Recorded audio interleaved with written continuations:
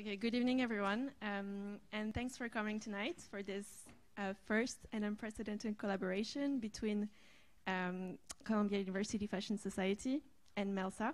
Um, so um, this is the first talk um, to launch our political fashion series, which will be a series of talks throughout the year to talk about human rights and fashion through an inter interdisciplinary approach.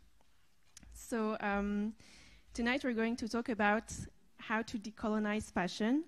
So we are going to talk about the power dynamics established um, and perpetuated into the production cycles and supply chains, but also through representation in the fashion industry and the symbolic of clothing.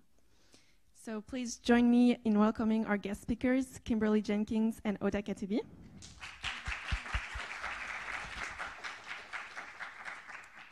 So Kimberly Jenkins uh, graduated from the Parsons Schools of Design, and she has founded. Um, she's a lecturer, researcher, and consultant. Uh, she uh, has founded the Fashion and Race database, and she will talk to us more about it. Um, she's a steering committee member for the Research Collective for Decolonizing Fashion and an advisory board member for the Model Alliance. Um, Kimberly Jenkins teaches at the Pratt Institute and Parsons School of Design uh, where she has developed a course on fashion and race to provide a critical race theory of fashion. She has curated the exhibition Fashion and Race, Deconstructing Ideas, Reconstructing Identities in 2018. Last year, she received the award for Outstanding Achievement in Social Justice Teaching from the New School. She's also a consultant for Gucci to support their efforts on cultural inclusion and diversity. And um, Kimberly, I think you just got back from the Netherlands um, where you took part of a think tank uh, discussion on decolonizing fashion, objects, and museum curatorial practice. And we are very lucky to have you before you move to Canada to teach at Ryerson, Ryerson. University. okay, I, I, said it. um, and uh, Hoda Katebi uh, graduated from the University of Chicago in 2016, where she researched uh, on the intersection of fashion, gender, and the state in Iran. She's the creator of the website JooJoo Azad, which means free bird in Farsi. Um, and she's um, and it is a political fashion uh, platform to challenge, among others, Orientalist mainstream um, representation in the media of Muslim women. She's the author of uh, Street Style, and you will talk uh, more about this book.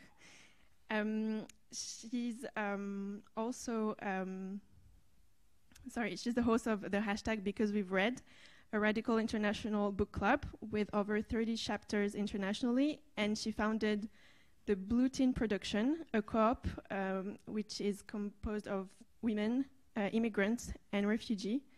Um, it's a co-op uh, run by them, and um, I'm very curious to know more about this as well. Um, you will start a law school degree in 2020, which is amazing. um, and yes, so let's um, give another round of applause and let's start to talk. So I'll first, uh, so I'll, I'll, ask questions uh, to uh, Kimberly and Hoda, and then I'll leave the floor to you guys if you have um, questions. Um, I'll sit there maybe so you can see me. That'd be great.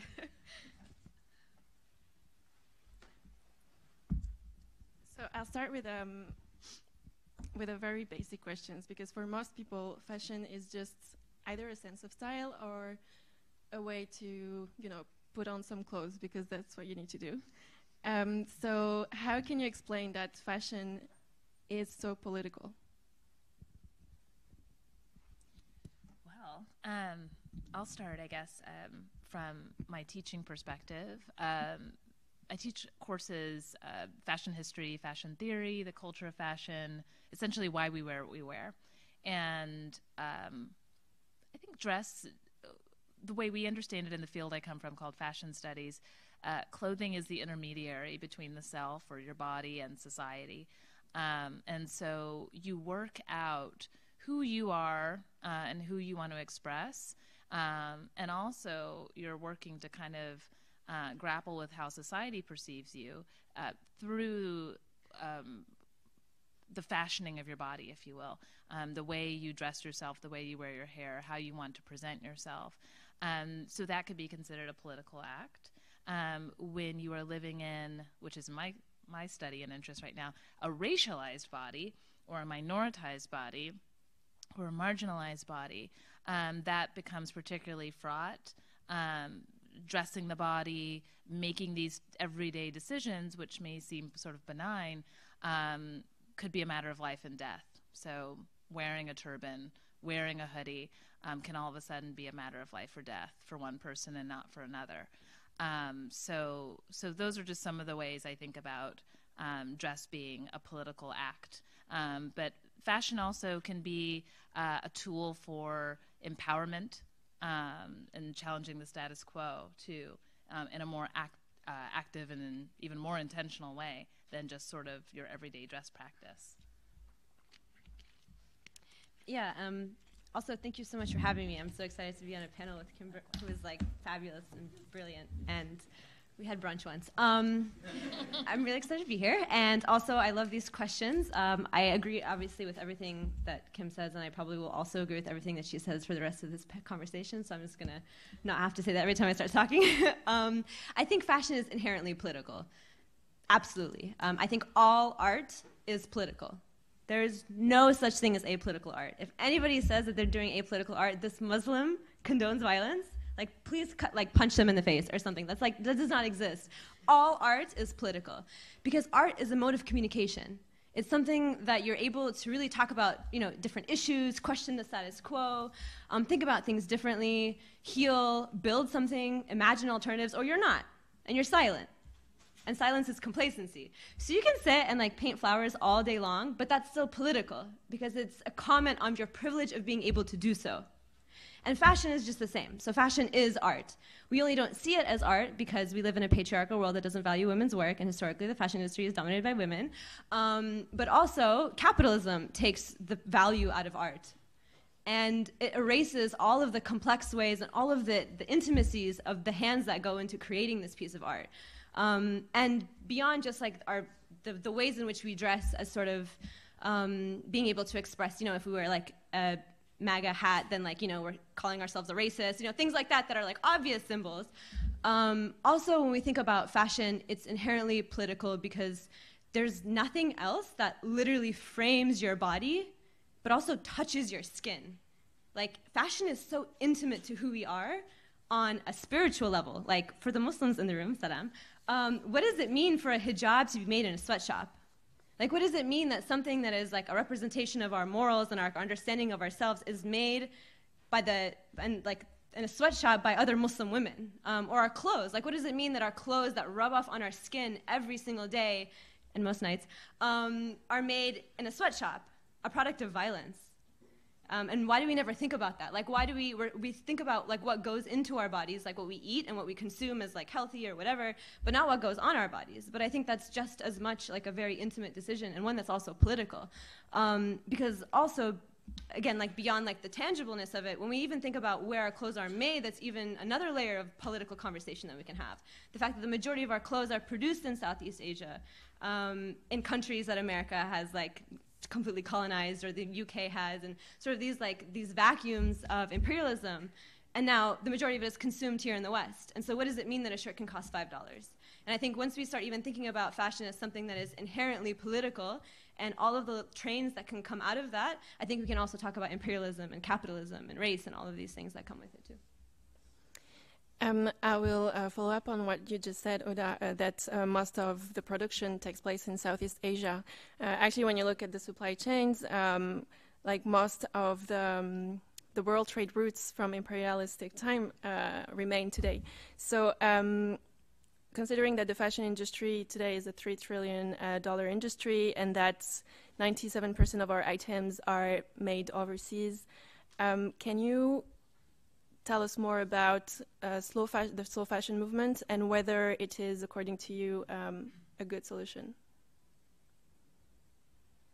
Do you want to start sure. with like what you're doing with the work, and then I'll follow up with some ways that we talk about it um, in other like other ways okay. with the paradigm. Yeah, of course. Yeah. Um, this is a very good question. So I think that right now, something that we have to be thinking about when it comes to fashion and the capitalism and like the, the politics around it is that it doesn't come down to individual choice, despite the fact that they want you to think that way. So people really right now want you to like buy the movement. You see like an ethical shirt and you want to like buy it and you feel like you're saving like refugee women. Oh my god!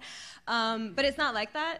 And it, you can't buy the revolution, and you can't buy a better world. Um, and so I think that we also have to push back a little bit from just this idea that yes, there is an alternative to fast fashion, um, and like there are brands that aren't engaged in like fast fashion. We can break that down in a second. But also, I do want to preface by saying that like that's the answer is not how like where we buy, but like how much we buy, and looking at systemic changes to how our clothes are produced.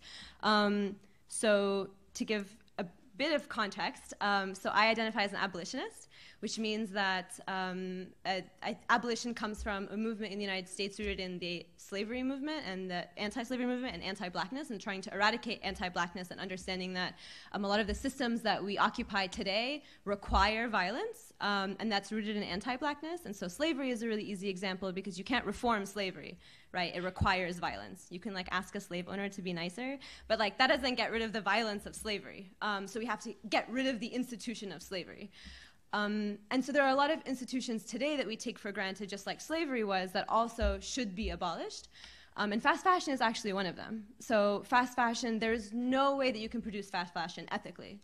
Because fast fashion, the model of its production requires meeting 52 seasons a year, and there's also 52 weeks in a year. So, that's a new season every single week um, at quantities that are actually humanly impossible to produce.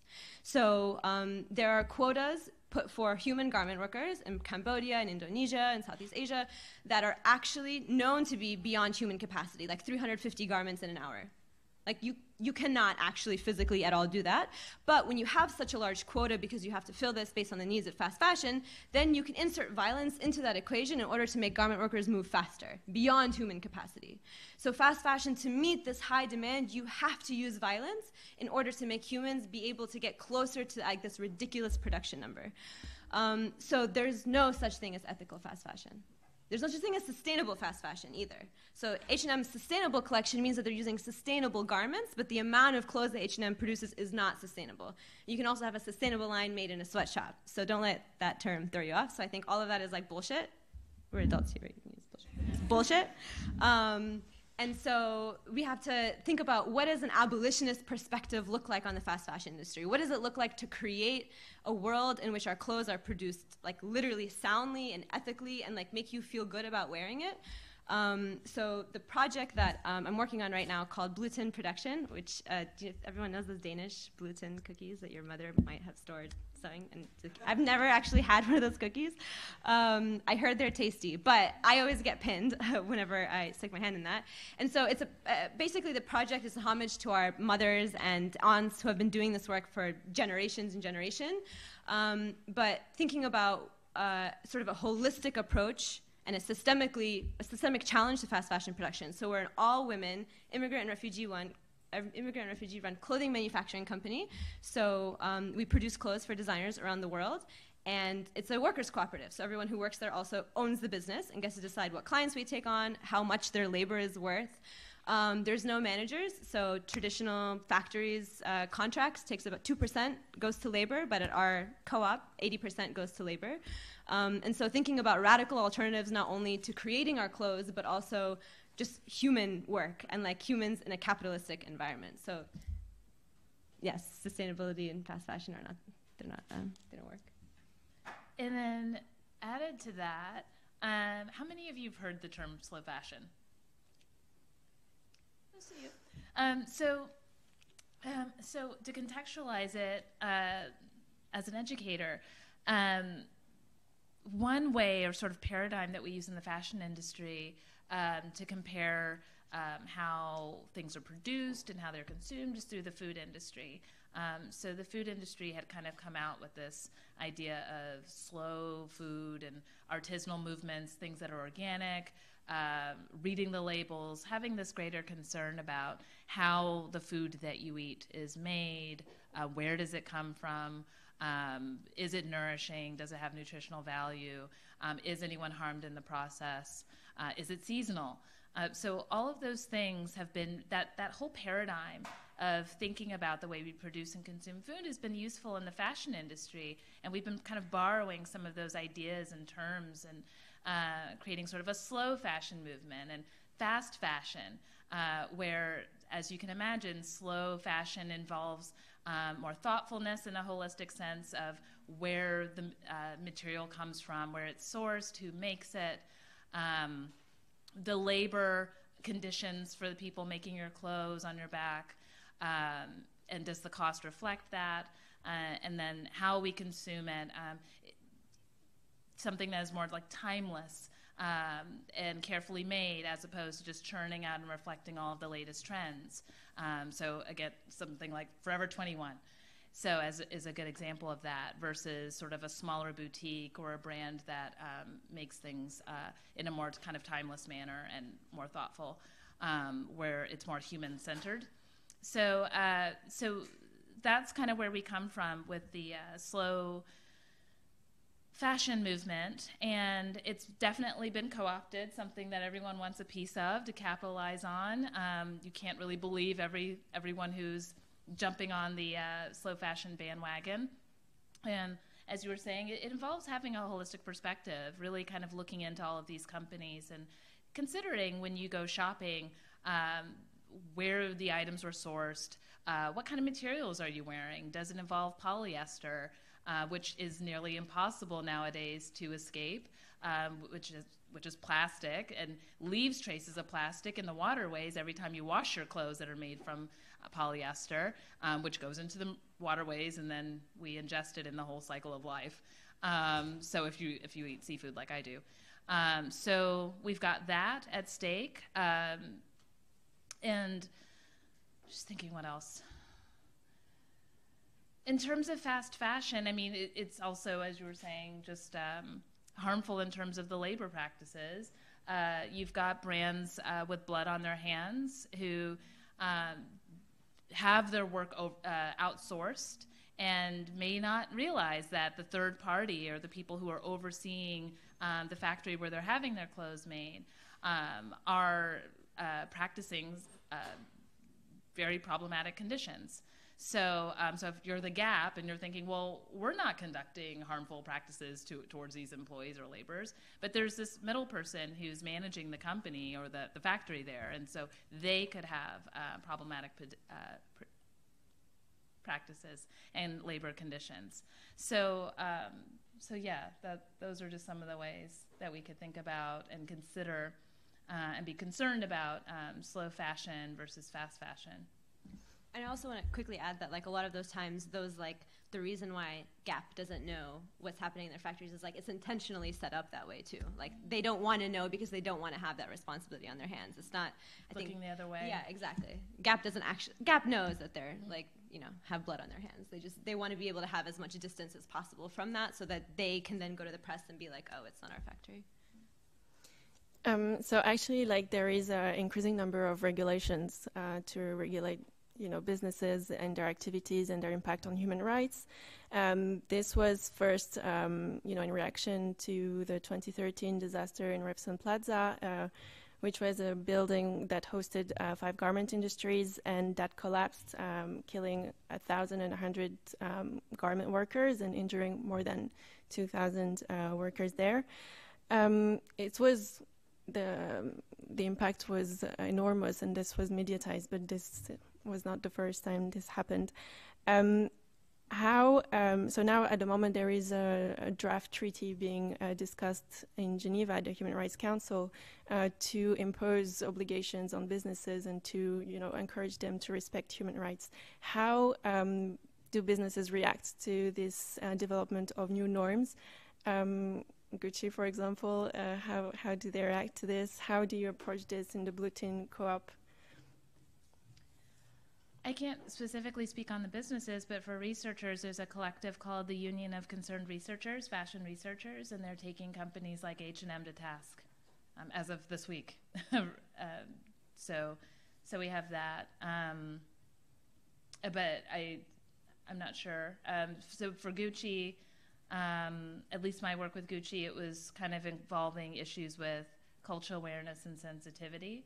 And um, this week, and actually today, um, I helped write and draft a kind of a charter. It's a manifesto for diversity and inclusion for a Camera Moda, which is sort of like the CFDA of Italy. Um, and so it's kind of like this charter and 10 point plan that's going to pronounce um, how they uh, really the standards and principles that they want to introduce in the fashion system and that, and that they hope all of their brands will follow uh, through on. And that will affect um, HR and um, their colleagues, their consumers. Um, I, I, can't talk too much about what all the principles will be. Uh, it hasn't been published yet. Um, but I was invited to kind of draft that whole thing, and it's going to be signed ultimately by um, all the major Italian fashion brands, so Gucci, Versace, uh, Ferragamo, Valentino. They're, they're all on there. Um, I have less hope. the brands that I work with, I'm not on Blue Tin, but I come from a community organizing background. Um, most of them are fast fashion brands. And right now, what the situation is and has been uh, is a sort of race to the bottom. And what that means is that um, these basically Nike is going to pull out of whatever factory they can to find a cheaper factory somewhere else. And so that factory owner knows that. And so a big, horrible practice that's happening right now that's very widespread is that the same factory owner, typically an investor from Japan or Korea, investing in creating a factory in Indonesia, um, once garment workers have organized and raised wages or unionized, um, they will shut down that factory, leaving thousands of people without pay, without severance um, and then moving to somewhere else in Indonesia that the minimum wage is lower because minimum wage in Indonesia is based on geographic location and industry, and where garment workers are not unionized, it's further away from the city, and then they'll reopen the same factory, and then Nike will come back and work with them there. And so this is a really common practice, um, and it's incredibly destructive because it really takes away all of the agency and the work that garment workers have done organizing and fighting against Nike, fighting against Gap, and winning all these amazing campaigns just to have that whole factory factory closed down. Um, and so it is something terrifying because every win that we see is being taken away. Um, and this is happening on a really wide scale. Um, and we also, and I think that's just the labor side. Like the, the fabric side of it is even more difficult to trace. Um, a report that's also just about to come out um, by the WRC, the Workers' Rights Consortium, is about to show that Nike raw materials are actually being harvested and processed by Uyghur Muslims in concentration and internment camps in Western China and then sent to more Muslims in exploitative sweatshops in Indonesia to then assemble, and then sent over here with hijabs, and Muslims are like, oh my God, yay. Um, Nike supports us, but Nike does not support Muslims. Um, and so I think it's really terrifying, especially when we get more into the supply chain, especially on the fabric end of things. It's a scary ass world out here. Like, we don't know where anything comes from, and there's a reason for that. Like, everything is so opaque. Wait, is opaque the clear one? the, the, opposite of opaque. It's really opposite of opaque out here. Um, and English was my first language, but I'm pretend like it wasn't. Um, but I, I, and I, I think that it's really devastating because also these same brands will still sign agreements um, like the Fire and Safety Accord after the collapse of the Rana Plaza factory in Bangladesh. But that doesn't mean that anything is going to change. Um, it just means that they're going to get smarter about how they're framing things. It's gonna, they're going to be smarter about coming, getting out of contracts. For those of you who are at law school here um, and know that international human rights law has no teeth. Um, you can sign, but none of these contracts are actually binding. None of them actually do something if like you fail to comply. Um, and Gap and H&M and Walmart and all of these big companies actually are very much removed from the entire process. So these factory owners um, are silencing garment workers there's actually systems of retaliation in place for garment workers who speak out, both in terms of local press and even here. So, um, an article that I was supposed to have published on Teen Vogue, actually, I was paid a kill fee for, or offered a kill fee for, because um, it featured garment worker voices in Sri Lanka from working in H&M's sustainable factory. And once Teen Vogue saw how damning those interviews were, for legal reasons, they killed the piece. So it, there's not just like local sort of like repression on like the labor side. This is actually an entire chain of power that is really making sure that we don't hear garment worker voices or even think to even ask who's making our clothes.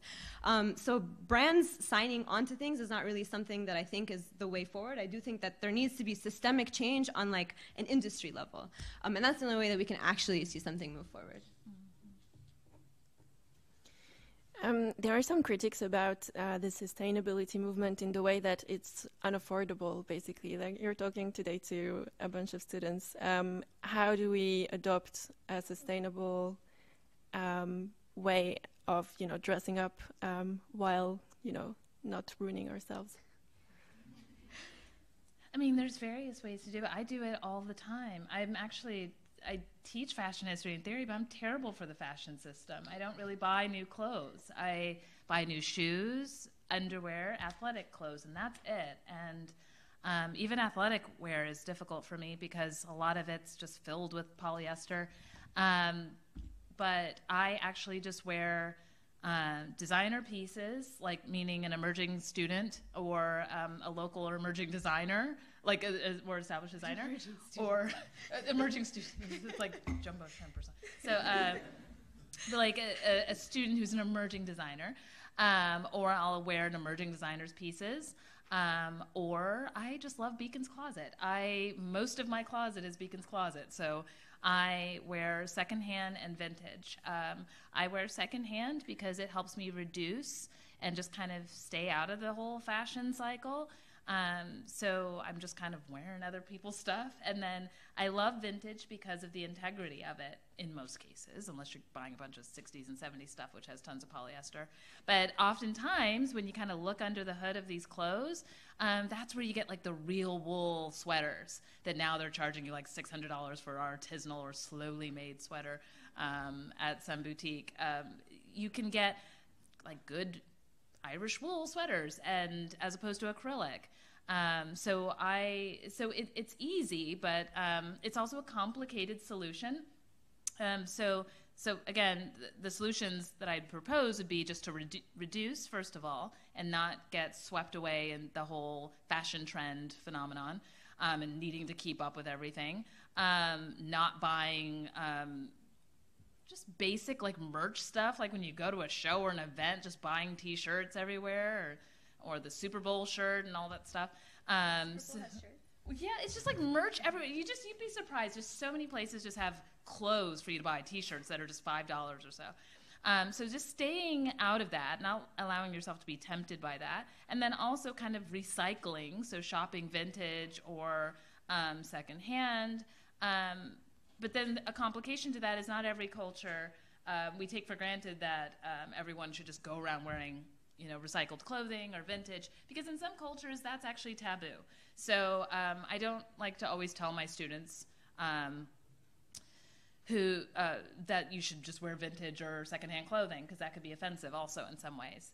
So um, so there's got to be some sort of way that we can be more thoughtful about the way we shop because right now many students say well what am i supposed to do go buy a $200 slowly made sweater um, something that is you know um, more thoughtfully made um, but that is an al- alternative you know just spending more on less and just buying something intentional um, so so those are just some solutions that i grapple with and that I think other people grapple with too. But I think the intimidating thing is um, it can be very classist, you know, to kind of wag your finger at people and say, you know, where's your sustainable wardrobe? Um, you, you know, so that's not the way to go. Yeah, 100%. Um, I think I definitely like hyper underline um, purchasing just less. And I think a lot of this is centered on just completely reshaping and redefining your relationship with consumption and your clothes on like a, a holistic level, um, but just consumption in general and treating your clothing sort of like you would like an art gallery. You know, like you don't like if you have a wall to like curate, you don't like fill every corner with art pieces. You pick a few things that maybe you invest in and last longer than like trash art pretend this analogy works. Um, and but those all say something about you, and you know, and just like you appreciate each brushstroke of each painting, you also can appreciate each thread that has woven into the shirt. Um, and I think it is really important to like think very intentionally, um, and maybe investing in pieces, but also purchasing less. So the amount of money that you spend doesn't have to change, but just the amount of things that you own could be substantially less. Um, but also, I do think that this conversation, um, I want to take one step back, and oftentimes it turns into like, okay, pitting poor garment workers in Indonesia against pitting like broke college students here, um, and like, okay, well, like who who's suffering is like worth it. But I don't think that that's the conversation. I think what it should be is like why are like the people who own Zara, Inditex, um, Gap, all of these like huge like corporations, some of the richest people on earth? I think that should be the question. Is like why you know if if why are the Notre Dame was literally rebuilt by fashion people while the rest of the world is on fire and their own garment workers can't eat. Um, and so I think we have to also redirect our focus less on this individual consumption and your your individual choice is important, but like not really that important. Um, and like if you need to buy like something from Gap or like a, wherever, go for it. But also like be on the streets protesting militarism and protesting um, all of these sort of related entities to fast fashion. The reason why um, people have no choice but to work in a sweatshop in Indonesia. The reason why um, Zara's owner is one of the richest people on earth. And I think that allows us to then think about fashion more inherently politically again, but also on a more holistic level and less sort of the focus on an individual, but more a movement of what we can do to actually change something um, on a global scale. Thank you. Um, I want to talk more about, uh, you know, the side on representation and the media, um, but yeah, so I guess like this transitioning question um, for Kim maybe. Um, do you uh, have an input or can you talk us through the process um, of designer houses um, from the very, you know, design of their collection to the runway, um, to their runway shows? Like how does it work in terms of culture? Um, what is their approach to diversity? Could you oh. tell us more about it? How does the fashion industry work? How much time we got? Um, uh, so I guess getting to the heart of the matter, would it would your question be more about like the thought process of fashion houses or fashion brands when it comes to cultural representation? Yes. Uh, in the design sense, or represented in ads and on the runway, or internally? in terms of the workforce? Because um, there's various aspects. From from the very like, if if you got to speak to the designers, uh, I'm really curious to know, you know, how they want to represent their collection, their clothes. Mm-hmm. Uh, some ways to tackle this, and um, I'll do my best to express all the different kind of wheels turning. Um, so those of you who are not in fashion um, get an idea of what's been going on. Um, like the reason well i guess starting in one angle is um, when i started working with gucci in february uh, it was all because um, alessandro michele the designer of gucci was inspired as they all are as all artistic genius are um, last year to design a balaclava sweater the sweater turtleneck sweater i think most of you saw it that goes kind of over the face and it was inspired by the Australian performance artist Leigh Bowery, who Leigh Bowery um, would have this kind of um, clown face. Um, and so it'd be like face painted white, sometimes black, and then a big red painted mouth. That's what Alessandro was going for. And so what ended up happening from concept to design to production was a sweater that was red mouth on yellow, red mouth on purple, red mouth on white, red, white on black. Wait. And so that's when the black sweater ended up out on the runway, and Twitter got a hold of it. And all that was uh, communicated to the mass audience was Gucci's out here making blackface sweaters. And so Alessandro's like, no, no, no, no, no, that's not what's happening. So, um, but it was too late. The damage was done. And what did not help was that a couple of years earlier, Gucci had sent down the runway a black model wearing this sort of voluminous leather jacket that looked just like a jacket that was designed by Harlem legend Dapper Dan. Um, and Dapper Dan, just as a quick side note, um, African American man living in Harlem, 1970s and into the early 80s he designed pieces that kind of um, poached logos and materials from designer brands, these aspirational designer brands, um, and crafted, like a true couturier, um, these pieces that were not officially Louis Vuitton or not officially Gucci. Um, and it was all to kind of bring luxury to Harlem because fashion didn't want anything to do with black folks and didn't want anything to do with Harlem. So he was bringing it up there. So it had this profound significance.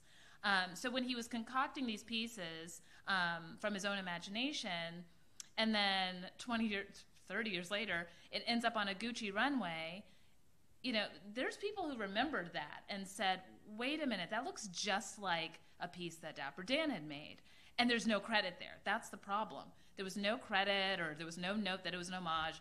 And so when people saw that, they already, Gucci was already on their radar with, you know, they don't care about us. They, you know, they want the art, but they don't want the people.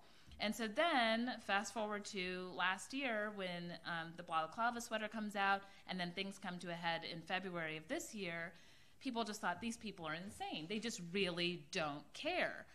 And so then, a couple months after that, there was the Sikh um, incident where there was this turban that went down the runway, and the Sikh community was upset because it was a white model coming down the runway with this blue turban, and they just wanted to call attention to the fact to Gucci that look, you know, some of us really have to defend the headwear that we wear for religious significance. You know, it could be a matter of life and death or just being harassed on the street, and you're just putting it down the runway on a model like it's nothing. Um, so, a model that doesn't even look like us. So, Gucci had all of that, um, all of those issues going. And so, by the time I came in, I was brought in by Marco Bizzarri, the CEO and president. He, they flew me to Milan a few days after meeting me and asked, Can you do a lecture on cultural awareness and sensitivity and why blackface, the iconography of blackface, the history of the iconography of blackface matters, why this is a problem, why people are outraged. So I gave a lecture on that, and then he just hired me as like an internal professor for a while um, to help them. And the things that I learned, the quick takeaways, was that, you know, I kind of came into it upset, frustrated, and then after encountering these people and being at Gucci headquarters and being at this company, you realize I'm not making excuses for them, but much like other uh, multinational brands and global companies, is they're very homogenous in terms of their culture. It's like glaringly white. It's glaringly Italian. So as I'm giving this lecture about something that is just so painful for one group of people, you know, there's just sort of these looks of, wow, I didn't know that you know and so some of them actually did not know there's blackface in many parts of europe is just so pervasive you know they just don't think anything of it. And didn't realize you know because they're not around um, black people on a regular basis how problematic it is. And so having my black self in there telling them and letting them know was really helpful. Um, and so one thing when newspapers and magazines always like contact me about, hey, there's a new thing that happened in terms of cultural appropriation today, or um, you know, some new offense has happened. Why does this keep happening? And for me, you know, I hate to sound like a broken record, but it's a lack of education. There needs to be education, first of all, within these companies.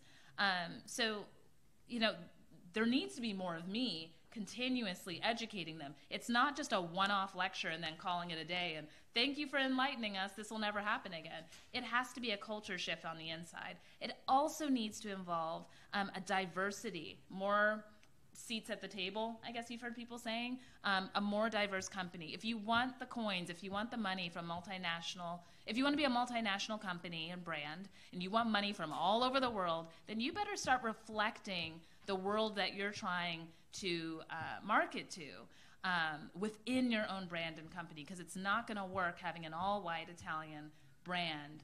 Um, trying to promise us that they're enlightened in terms of cultural awareness and sensitivity. This is going to happen over and over again. Um, so, so those are just some of the things. But on the flip side, you've also got people who are so frustrated saying, I don't care about a seat at the table. I'm tired of this. I don't want a seat at your table. You clearly have no respect for us. We're going to build our own table. So that's part of the discourse also. So um, it's not just begging for a seat at the table. It's it's been very complicated. But um, in terms of workforce and then design output, um, that's what's been happening in terms of cultural awareness and sensitivity. There's been a lack of it, and so no education and not enough diversity and inclusion. Um, do you feel like the um, fashion houses, you know, they're being more political also in their clothing uh, with like, you know, political statement on their clothes? Lip service. This was pandering. So that was my question. how, how do you feel about it? The woke movement, activism I call it revolution washing. So if everyone knows like greenwashing, um, so greenwashing is basically like H&M saying that, oh my God, we have a sustainable collection, we are so progressive, um, which A, then how are the rest of your clothes made? But then B, it makes you feel like H&M is like this leader of progression and like so sustainable. And like if you think about a sustainable fast fashion brand, H&M is probably comes to everyone's minds. Um, but it, it just like washes all of your crimes that you're actually doing. And revolution washing is like, well, this kind of the time that we're in right now um, and like everyone wants to be a part of the movement, um, but it's not at all. It's like it's so far from it because corporations will never define what the movement is. And it's like what you're saying. You know, none of this means anything until there's actually systemic change mm-hmm. within the brands. So just going out and putting a charter out there saying this is what we're doing, guys, or putting it on a T-shirt. Everyone should be a feminist. It's, it's that's like nine hundred dollar the Dior one. Yeah also probably made it a sweatshop. Um, but also, I think something else that's just like really frustrating um, is that people are buying all of it like they're, they're eating it up. Um, and particularly i feel like communities of color right now we're like really trending. Um, our identities are like super sexy right now. Um, but like and only to the extent that they can use our faces but not what it means to actually support a person of color not what it actually means to support a muslim person. So like nike for example has actually won awards for the nike pro hijab and come out for like being so for like from for muslims. But again who's making these pro hijabs is Muslims in sweatshops. Um, and the same with like the rest of all of these brands. And so if we really want to talk about supporting Muslims, why don't you start with your sweatshops? Um, and also then taking up space and like completely like Muslim women have been making hijabs from like the day that we have been wearing hijabs. So like it, that we've been having this industry. Pro hijabs are not a new thing. Muslim women have athletic leisure hijab wear, um, and so it's really also that the sort of like allowing us to also see these brands as like seeing us and like representing us. Um, and I think that it's working because we've also seen that Nike sales, despite the fact that there have been huge right now sexual harassment claims against Nike at so many levels. Um, has anyone heard of them? Yeah, you know why? Because Nike is a progressive organization that loves Kaepernick, or Kaepernick. I always say Kaepernick. Kaepernick. I always said Kaepernick. Um, and so, actually, because Nike has endorsed Kaepernick, um, people view Nike as a progressive brand. And so all of these sexual harassment claims, they're not even making headlines. Um, and so it actually is changing culture and the way in which we're allowing who can define what is good civil rights? Nike is saying this is what it looks like to be in the civil rights movement. It's Kaepernick. Don't burn things down. Don't like do anything more than that. But like this, this is what we'll like agree to. And if we can all like agree on that, then our movement can be here. Like we're leading the revolution. So it's destructive because we're also as like community organizers um, the bar has just been so like lowered. Like if you just wear a shirt that says "I'm a feminist too," you're automatically a fucking feminist. But like that's just it's so ridiculous because we're completely erasing all of the significance behind what it means to be part of something bigger and actually organizing around these issues. Is Nike? That's part of their brand to be disruptive. Just do it. They love just you know a renegade on the surface. Mm-hmm. Um, but also, if I could be petty for a minute, please. Um, um, another slice of that is, you know, and I apologize to anyone who buys into these brands also, but so there's like the blatant injustice that you're talking about.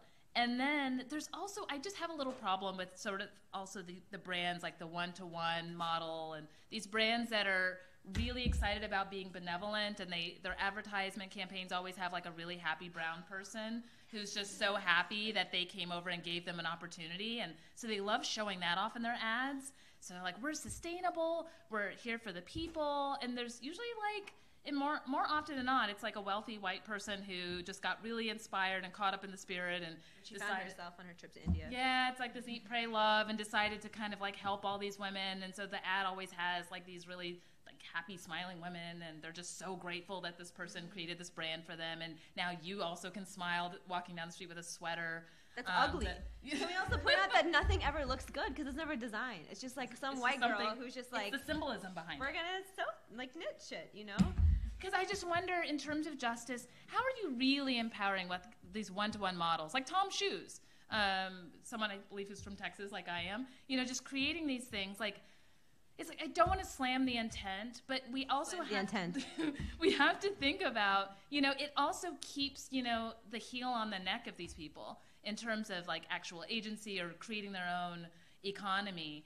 Um, when you keep these kinds of brands intact, um, it's like back when I was an undergrad in anthropology. I'll never forget. It's like over 10 years ago. I got really angry in class arguing about the red campaign. I, I found it so problematic as an undergrad. Throwback. Yeah, throwback, like red, you know, where it was like red shirts, red with the gap, Gap? red everything. Red was collaborating with everybody, and so it was just so such basic passive sort of activism because you just got to buy a red product and just said, "Well, I saved the world today or helped these people," and um, y- you know, I, I feel a little less terrible. Um, but you know, I I just don't think that's the way. We've got to push harder, which is, and this is kind of moving um, into not really slow fashion, but really fast fashion.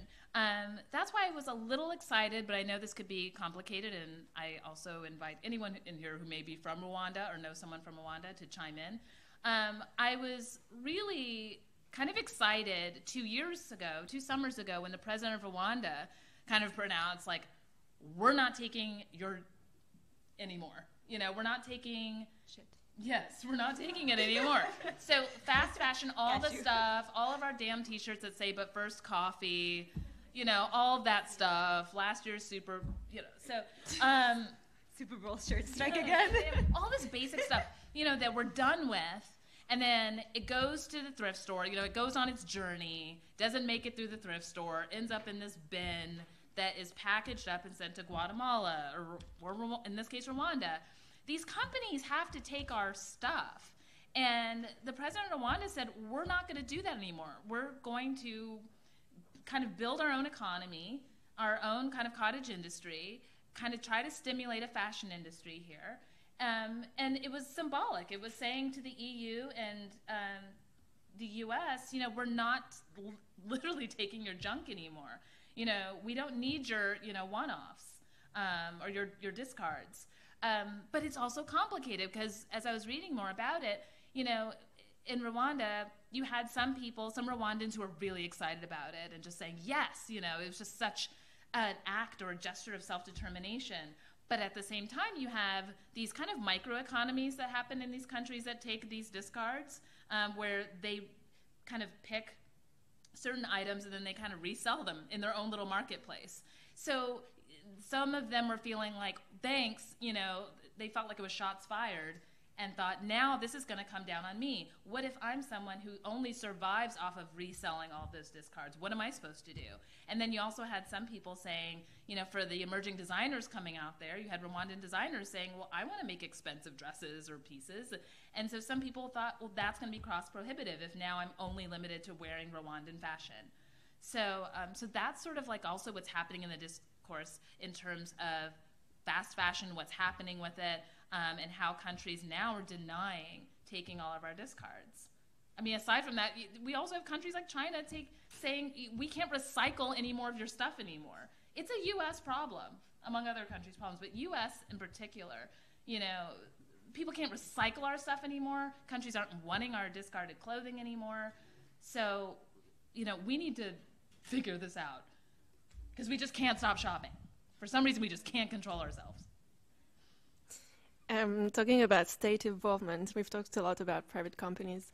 Um, I want to ask a question regarding uh, freedom of speech through fashion and um, the way you dress. So, the US Supreme Court in 1969 recognized that you could protest through wearing a black um, armband. Um, in the case Tinker and Des Moines, um, how do you feel today in this country?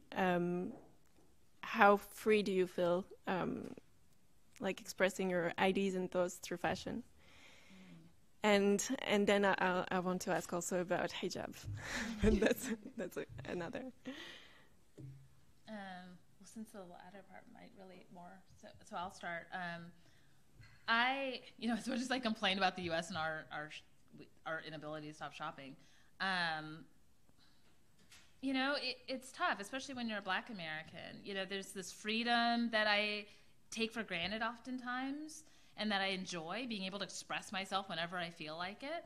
Um, but I mean, also like with what I teach in my fashion and race class, I I kind of suggest that before you put on your clothes as a racialized person, the first thing you're wearing, so to speak, is your black skin or your brown skin.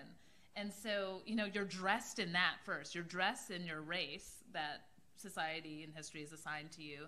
And then you've got to work out your identity by putting clothes on top of that. And so you've got that whole kind of conversation happening. And in terms of, so in terms of freedom, um, I don't know, it's an ongoing practice um, that sometimes we take for granted when you are dealing with racism or you live within a racialized body. Um, there's a lot of labor going on mental labor, physical labor. You, on a day to day basis, you're thinking about, huh, you know, I'm going to this space and then this space. Do I want to wear my hair straight or should I wear it natural? People are going to get uncomfortable if they see my hair naturally, so I guess I'm going to have to straighten it. So then you have to go through this whole process of buying the hair products or maybe going to a salon and flat ironing your hair, blowing it out, and doing all these things just to make people comfortable. Or if you decide to embrace your natural hair, then you just have to feel like you have to be on the defense and really protect it. Um, so, sure, we are free. You can wear your hair naturally if you want to, but within workspaces or just on the street in everyday encounters, um, there is this labor practice of putting yourself together and defending your style, and then also um, just sort of the act of, you know, um, I think that's just where I was going. You know, just having to figure out and work out um, how you want to express yourself today. It's not as free as it seems. Um, but in general, yes, we do enjoy a great deal of freedom here. But it's complicated. Uh, how do you feel about uh, wearing a hijab here? Um, so in France, like we have. Uh, oh, we know. and then soon to be like Montreal, right? Yeah, they already the Quebec charter. Like Quebec is already so yeah. Yeah, so, yeah, the world is Islamophobic. Um, yeah, this is a really interesting question. Um, I think first, freedom is like a trigger word almost. Um, what does it even mean, especially given that? Like I, I think it's always important to contextualize like a privilege, but then also the fact that we live on an active empire. Like America is literally an empire, like currently, right now. Um, and so, what does it mean for us to experience or like be happy with our freedom when we're actually the reason why many countries are currently in turmoil? Um, like I was trying to keep it like together on the car ride over, as Iran currently has protests all across my country, as gas prices have gone up 300%, because largely in part to U.S. sanctions against Iran. So, um, and we're seeing protests across the Middle East, and so these the the, we always like to compare like freedoms in America and liberal democracy to like authoritarian Middle Eastern like dictatorships. But the binary is not something that I'm comfortable with, and I think that we have to contextualize like the turmoil in countries globally because of this quote unquote freedom. And so, is actually freedom if the rest of the world is living um, in chains that the United States has put them in? So I think that that's a context that I want to first sort of ground ourselves in. Um, secondly, I think that sure, yes, I have the ability to wear a hijab, but that doesn't necessarily mean that the state is not going to use that against me in terms of surveillance campaigns. Um, CVE, which is the Countering Violent Extremism program by the United States Department of Homeland Security, actually has hundreds of thousands of dollars across the country that uses hijab as an actual conveyor belt on the road of radicalization. So in Boston, um, in I think New York City is fine but beware. Um, in Chicago, Minneapolis, which also particularly black Muslims are affected, um, we see the US government pouring money into or, um, this program that allows guidance counselors who get trained in like um, bystander intervention, like cute little like words like that. Um, that when you see a, like a Muslim girl going to school one day without a hijab, and the next day she wears a hijab, she's on the conveyor belt to radicalization, and so you have to report her to the FBI. And so, sure, you can wear your hijab at school that day, but that doesn't mean that you're not about to be on an FBI watch list. Mm. And so, I think if you don't walk outside of your house every single day, not having to think about what you wear, that's privilege. Um, and a lot of us don't. Um, I'm, I mean, in Oklahoma, I was physically assaulted. My hijab was pulled off. It was horrible. Mm. Um, and that doesn't happen to the same extent in Chicago, but that doesn't mean that you still have to dress yourself in a way that you understand that the state has surveillance against you. Um, other people, racists, are going to like pretend to run you over with their car. Oh my God, so funny. Um, but also like there are a lot of like a, a, and that CVE program was actually built off of failed gang prevention programs. So the gang database in Chicago, for example, if you're a black male sagging your pants on the south side of Chicago, you can also be added to a gang database like that um, without even having to speak with you. And so our identities are sort of hyper politicized whether or not we want them to be and sure we can sag our pants if we want but that doesn't mean that we're actually going to not face real political um, results of that and so I think that it's really important to sort of contextualize that. Um, yes, like it, we, we do have like the ability to dress, but that doesn't necessarily mean that that's a freedom that um, is fully expressed, nor does that coming at the cost of the way that the rest of the world is also suffering under. So, I mean, also, for example, America uses fashion all the fucking time um, as an excuse to invade other countries. So, in Afghanistan, for example, one reason why America gave, um, it was oil, it was definitely oil, but one reason that America gave was that they wanted to save these brown women from these angry brown men. Um, so, because women were wearing hijabs and oppressed, obviously, and we weren't wearing miniskirts, we're not free. And so, to oppress us, you have to bomb the shit out of us. This is America's foreign policy. So, um, America actually uses miniskirts and hijabs as a political framework for bombing the shit out of women. Um, and so this is absolutely ridiculous, but this is actually the way that the government looks at um, or creates media around invasion and war um, and the destruction of lives. So again, I think that it's really important. Like I think freedom is like such a, a tricky word to like have a conversation about because are we really free when the rest of the world is on fire because of this quote unquote freedom?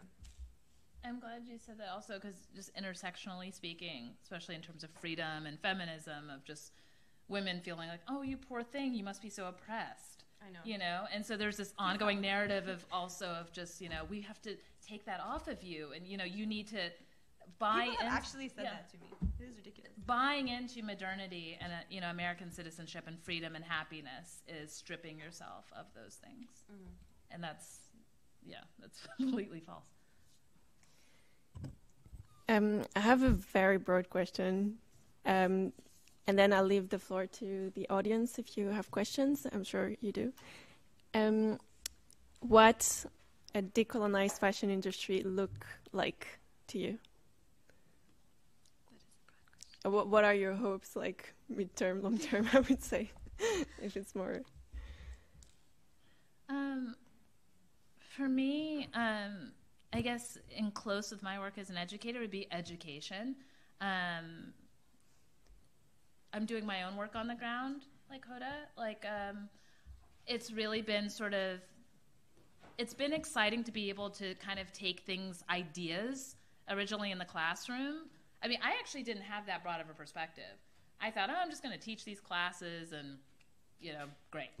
And I didn't realize that that work could end up saving brands like Gucci, you know, of helping them through an issue, actually enlightening employees. I've spoken to over, I've taught over, over 600 Gucci employees at this point, um, and just basic lectures of um, what kind of brings our humanity together in terms of um, harmful imagery and understanding what you're inspired by. It's okay to be inspired, but just knowing, you know, the significance of those things and the repercussions possibly.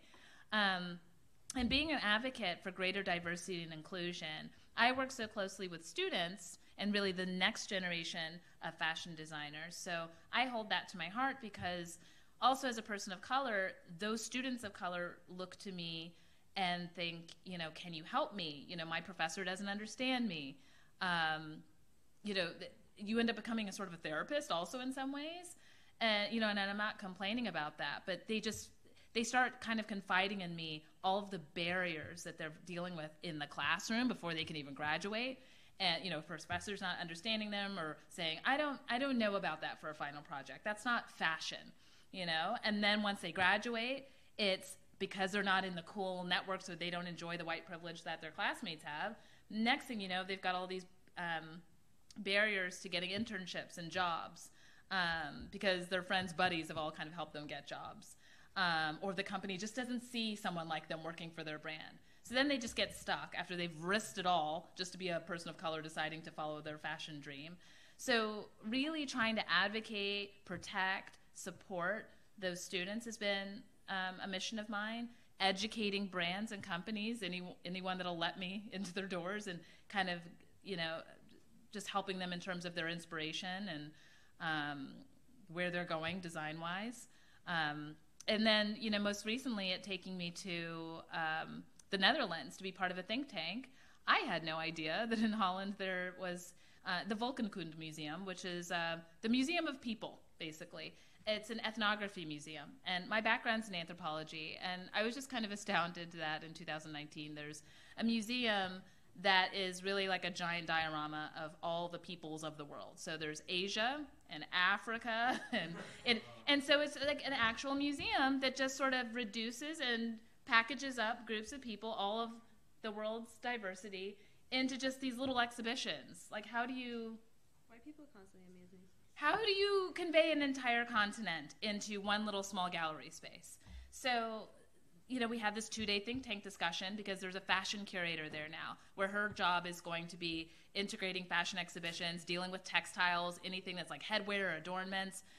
Um, I was invited along with like eight other scholars so we could sit there and think, how can we rethink this whole gallery, like the, a whole museum, really? Um, and sadly, though, um, long story short, what I ended up learning is I appreciated that the curator, who's white, was so concerned in inviting us to have a discussion about how can we undo all this? How can we redo this? Um, and not be so reductive in the ways that we kind of showcase the world's cultures. But um, she also revealed, sadly, that her hands are kind of tied because we were really preaching to the choir that day, or those days. When we had this think tank, we were all scholars from around the world who were on the same page in terms of decolonization. But she said, you know, this is really great, but the people over me at this museum, the marketers, they want something sexy. You know, it's just, you know, they want that anthropological perspective. And so, as much as she's trying to push back and try to integrate our decolonization suggestions, the marketing team and the people who run the museum aren't really that interested.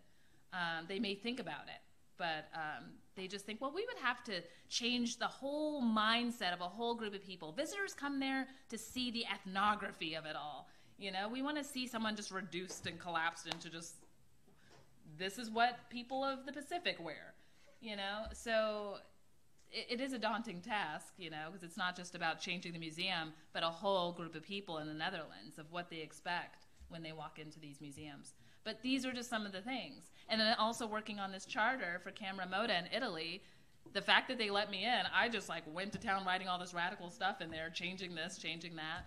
So, um, perish the thought if they hadn't, you know, I'm not saying I'm the person who should have done it, but a person of color, if they had not asked someone, um, I don't know how radical this charter for all the Italian brands would actually have been.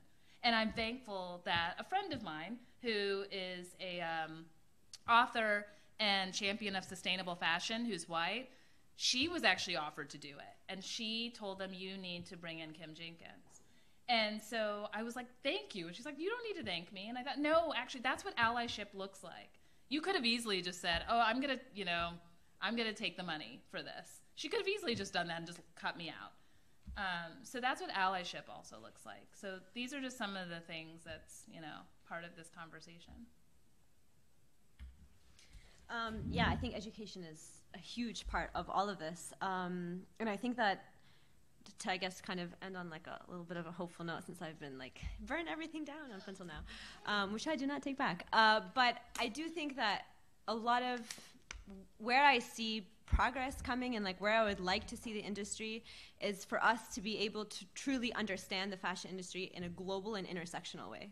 Um, being able to understand and sort of uplift the voices of garment workers who are systemically silenced in every single aspect of everything that we do and all of our movements. So we can understand that like we don't necessarily again it's not about an individual choice about where do I buy or where do I not buy, but like knowing how the military and militarism is connected to garment workers how policing and prisons in this country is connected to garment workers. And if you're worried about the environment, you have to also be worried about the US military. And you also have to be worried about garment workers. And so I think we have to th- be thinking about all of our issues truly intersectionally and not just like I show up to your protest and you show up to my protest, but knowing that like we literally cannot be free as a people or even as like people in this country until garment workers are also free. And so we've actually truly been able to challenge the fact that this active empire is taking people um, and putting them in exploitative positions. And people around the world are suffering so we can buy a $5 t-shirt. And if we don't actually look at this on a like a systemic and holistic level um, then that's going to be difficult to uh, and we're just going to have like surface level reforms. So i think what is beautiful about that though is that we are also not alone.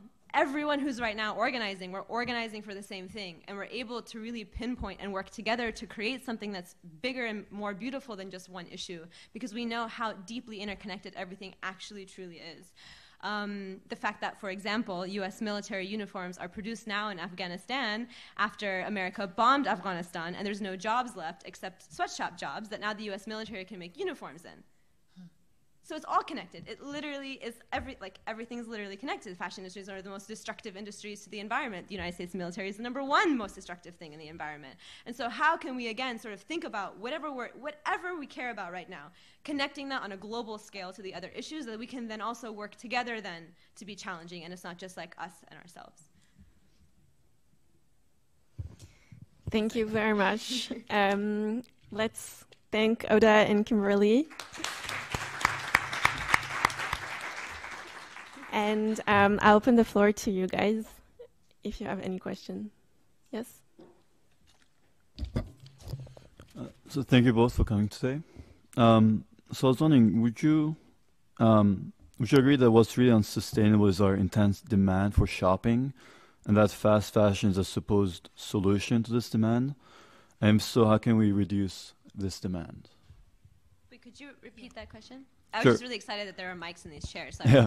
Um, would you agree that what's really unsustainable is our intense demand for shopping, and that fast fashion is a supposed solution to this demand? And if so, how can we reduce this demand for for shopping?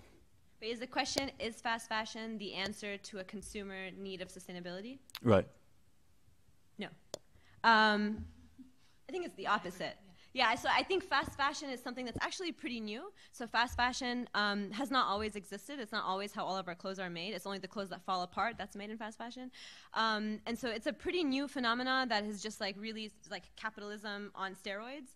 And so I think people seeing this and seeing how deeply destructive that this industry has been to global communities in so many different ways, I think people are starting to now give a damn and like be like, oh wow, maybe we should care about waterways, um, and maybe we should care about the earth um, now that it's on fire. So I think that right now sustainability is trending, but fast fashion has existed well before the sort of current, I think, trend of sustainability.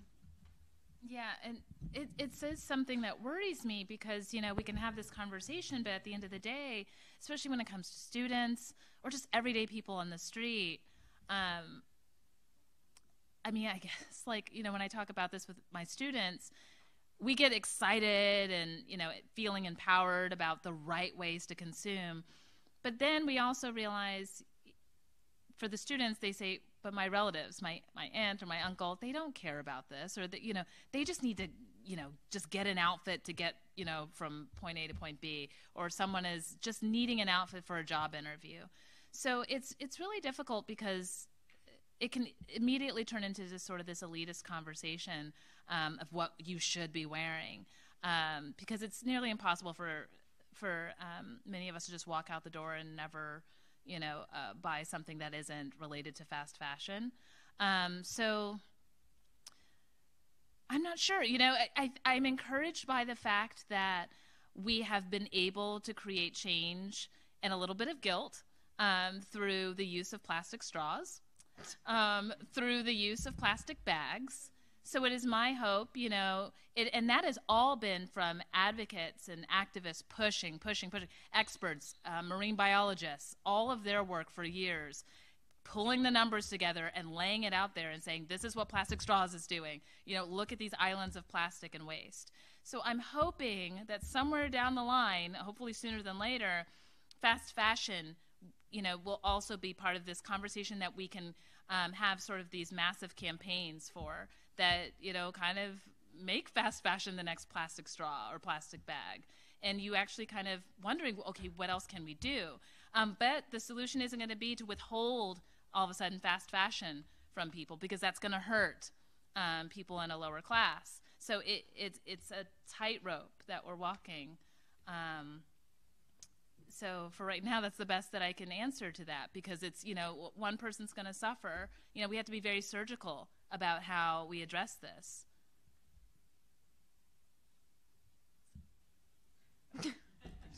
Don't make us do We'll it. let you know.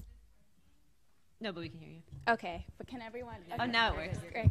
Just turned on. Hi. Um, so thank you so much for your talk. I come from a different world, so it's really great to hear everything you're talking about. Um, so my question comes from a concept that we are using in medical education, where we're switching from cultural competency to structural competency. So a lot of that is kind of what you guys are talking about. Instead of just like looking at one aspect, we're looking at it holistically and seeing what are the different levels that are kind of impacting.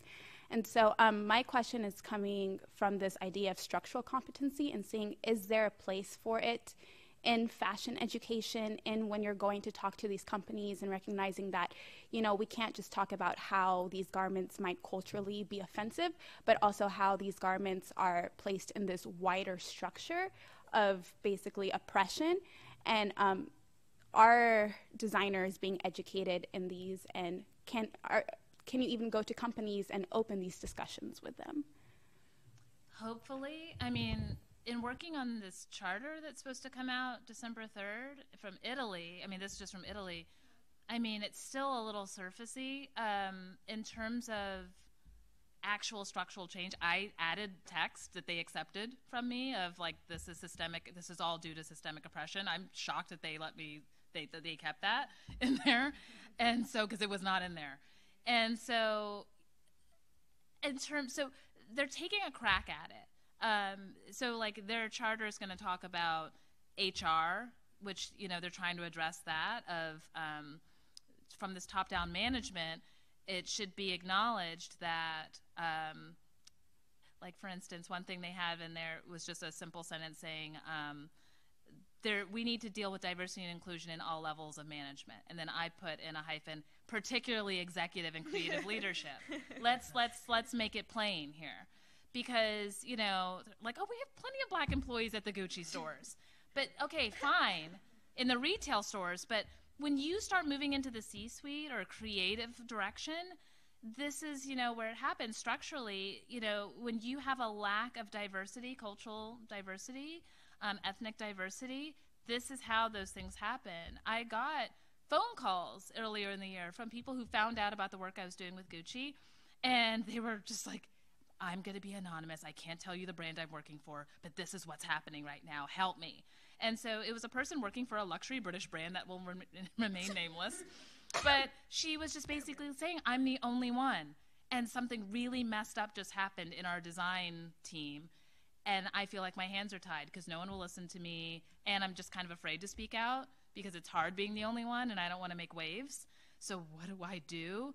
Um, and so so all that's to say it's complicated and then you've got some brands trying just now acknowledging huh maybe this is structural like you think and so um, i have hope you know that maybe now that we're having this conversation that the major brands like under Kering and LVMH, like Saint Laurent, all your top Cartier, all those brands are going to start to realize this, but it's going to take time for sure. Um, though in the fashion system, we've got some radical fashion brands, indie designers who understood this yesterday, and they've been trying to say that, but you know, um, kind of in the grand scheme of things, um, they don't have as much power. But um, but I'm hoping that that is going to be the way, and it's helping that there's people of color people who have been left out of the conversation or away from the table so long are getting invited in to help talk about that and let them know this is structural. This is these are the solutions. And just really quickly, also, is that I, and I think that I'm, I'm hoping that the artistic, like the endeavor just for the artistic aspect of fashion, allows brands to actually legitimately grapple with these issues. But I think it's also important that we contextualize that brands in this world are also after profit. And so maybe they're not actually interested in a structural level, or they're just maybe like we'll play the game just so long as like it lets them pass through then our communities and get our money. So I also think that it's important. Stay relevant. Yeah, so I think it's important that we also like even look at brands, especially like very large brands, with a critical eye always, even when they're trying to say that like they they are even if they have the words to express structure, that doesn't mean that like they're doing anything about it if they're still fucking billionaires, right? Billionaires should just not exist. I just I'm So they don't feel like they have anything that. at stake. You could literally you like a, you could literally solve world hunger, and every day you wake up and you choose not to. Like billionaires should not exist. Like I'm have I'm very strong in that opinion.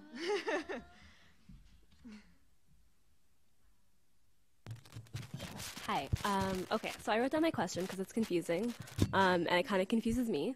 Um, Kimberly, That'd be a I- question from Iman. pardon? um, it's just a lot of layers to it. Okay, so I'm glad you brought up Dapper Dan because I remember that jacket, and um, if I'm remembering it correctly, it was unique enough for him to file um, some sort of like copyright on it. So he could have technically sued Gucci. He didn't. Um, so I'm wondering if part of the solution to like diversity inclusion is great. I also think that's something that's really trendy. Um, so I'm wondering if the solution is actually just more ownership. Like, why should a company like Gucci get to profit off of um, culture that they need to be educated on, right? So it's like you have people who actually create culture um, is part of the solution to, um, you know, sweatshops actually just giving ownership back to the people who are on Gucci's mood boards. That was not a complicated question at all. No. so it get so it, in like why didn't he just I mean, I'm, I think part of it too is just like indie artists like not actually knowing that they can use IP laws to protect themselves. So part of it is also edu- like educating the other side of it. Um, but I'm wondering if what we need to be doing like as marginalized people is that like why do I want to see it at a table that my culture built? Why should I not have my own table? Is kind of my the point of this. It's like you wouldn't need to have to educate Gucci if they didn't get to benefit off of everything that they did in design. Right. Um making it so that yeah responding that in a cultural way. I um, took my students a month and a half ago there for a field trip. I teach this class right now called nyc fashion. It's just like all things new york fashion. And um, my students actually i'm the only black person in my class. All my students no one's black. And so i thought this will be a great teachable moment. Let's all go to Dapper Dan's atelier. And those students were very critical um, so jelani dapper dan's son daniel day's son was sort of our leader along with robert uh, i believe smith who's uh, help runs the atelier um, they had to field all of these very critical questions from my students. I told them the backstory. So the students all kind of came in there with their arms folded, wondering, well, this is nice. This is great that Gucci wrote the check for this atelier. But the, the overarching question for my students was they felt like his wings were clipped a little bit. They thought, wait a minute. And they were just kind of doing the calculus of it all. But if you guys funded this, can he design whatever else he wants, including not Gucci? Because back in the day, he designed, you know, he made Louis Vuitton, his own Louis Vuitton pieces or Gucci, uh, Fendi pieces. And they felt that now he's sort of beholden to Gucci, and that worried them. That really concerned them, and they didn't think that was freedom. They didn't think that that was sort of a compromise or a win for black designers. Um, of course, Jelani and the team at the atelier says he can do whatever he wants. Dapper Dan can do whatever he wants. He is not, he doesn't owe Gucci anything. But the students were very skeptical of that. And so that is, like what I was saying earlier, part of this other conversation of, um, you know, we've got, like, we're sitting on gold, as what I was saying, you know, it's like really sexy to work with, you know, anyone who's marginalized or a person of color.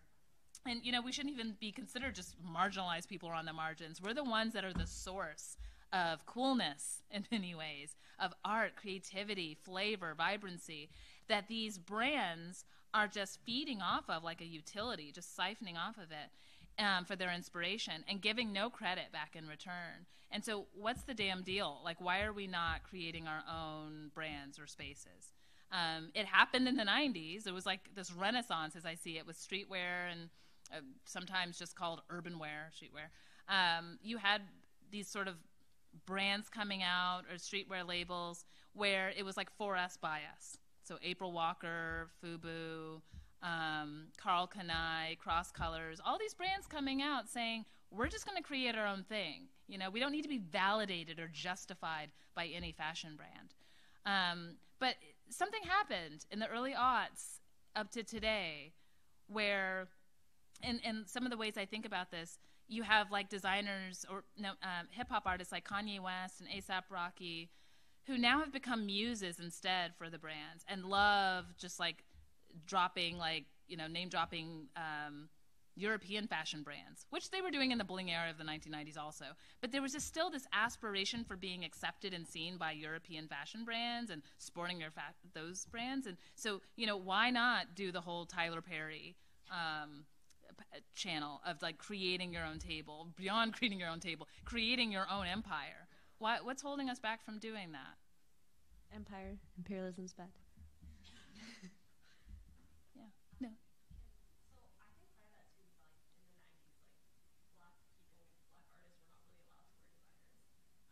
True.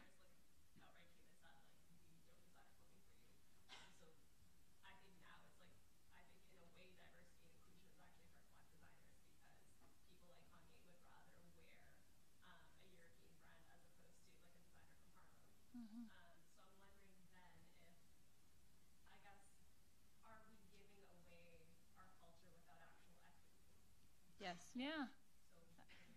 Absolutely. And this, and not to go too far off tangent, but I had a similar question when I was um, engaged in a guest talk or like visit via Skype with my friend uh, who I graduated with, Vanessa Rosales, who got a degree in fashion studies with me. Uh, and moved back to Colombia, and she now is bringing fashion studies courses to Colombia. And so I spoke to her class, and some of the students were saying, "What do we do when there's sort of black Colombians on literally on the margins selling, you know, braids, like selling their own material culture, braids, um, jewelry pieces, these garments to white tourists. You know, they have no choice. They have to sell their culture to white people. Um, you know, and the student was just really conflicted about that, thinking, well, where's the power there? Now you have to just sell your own stuff to a group of privileged people, um, and then they go home, you know, showing their cultural capital, their social capital. Of look at me, I went to Colombia and I got my hair braided, and I got, you know, I, I got these earrings from, you know, these people. And so, where is the equity there?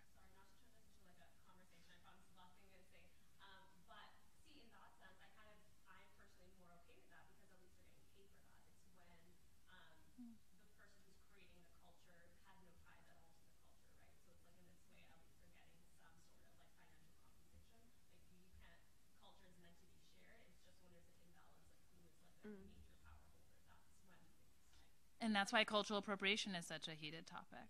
But also, I think that it, it, like, it's hard because a lot of, like, I think that um, this is coming at a time where, like, as you mentioned, like, we haven't felt seen, and so now, for the first time, that Nike is like putting a hijab on a model, or like, you know, like, like people of color are getting faces of magazines all the time. I think people are excited about that, but I think it's also, and just as you say, so much more important now for us who this, like, who these advertisements are targeted toward, to also stand up and say no. Like, um, and I think a lot of what we can do is like be very uncompromising in who we are, um, and make sure that those brands know it. So like in your purchasing power, whatever, but also like speaking out um, and like writing or publishing or creating that allows Nike to know that like if you want to support Muslims, you can't make your hijabs and sweatshops. Um, if you want uh, to be supporting the Black Civil Rights Movement, then you also can't be using exploitative labor of Black people in Africa um, to, in order to like harvest the raw materials for your thing. So I think it's important for us also, who these ads are directed toward, to also kind of have agency in that as well. And I think it's difficult, especially given um, Americans are so America-centric, and even as like as a daughter of immigrants, it's even hard for me to think beyond like borders unless I am actually like physically outside. And I think it, it's difficult to get people to realize that we are privileged at the end of the day. That like, sure, yes, it's great to see a hijabi on television that's not like being called a terrorist and like that's refreshing. But also like at the end of the day, that representation is coming at an expense to our people still, just like you mentioned. So I think it's something that we have to have nuanced and complicated conversations about. Um, and it also gets complicated because I mean I, I do think that we should be supporting our own people and like being able to invest in our own communities and our local designers, um, but also without like the idea or the goal of like wealth accumulation again. You know, um, so like for example, Beyonce has that Ivy, Ivy Ivy Park. Thank you. Ivy Park line, um, but that's also made in sweatshops. So I think we also need to be critical about our own people and hold ourselves accountable too. And like, how can we create um, art and fashion as an art without having capitalism strip it away, without having exploitation destroy it, and without having like other people's faces wear it and walk it down on the runway. So I think these are really important conversations, and also why fashion is just such a great conversation and like a way to have all of these very complicated conversations because it affects all of us every single day when we turn on our TV or open up a magazine. And it's complicated because she's a capitalist first. I mean, we could problematize Beyonce all day. Um, but added to that, you know, I mean, Gucci made attempts to kind of make matters right with um, their Changemakers program, which they were doing before the blackface issue. But um, you know this. So one thing within the Changemakers initiative they had is, um, and you may or may not be satisfied with this response, but um, they created a scholarship program, a very generous scholarship program to to presumed students in need, um, targeting ethnic or students they see as ethnic or raced um, to give them opportunities. And then also these channels, like the mentorship program. Um, it's several cities around the world, um, from like Nairobi to Harlem, where they're going to create a channel for fat, young fashion designers so that they can get like a straight line to Milan, um, like an internship. So there's no more wondering, you know, how am I going to get there? You know, there's no way. I have to go through this whole labyrinth just to make it into you know Gucci. So those are some of the ways that they were doing it.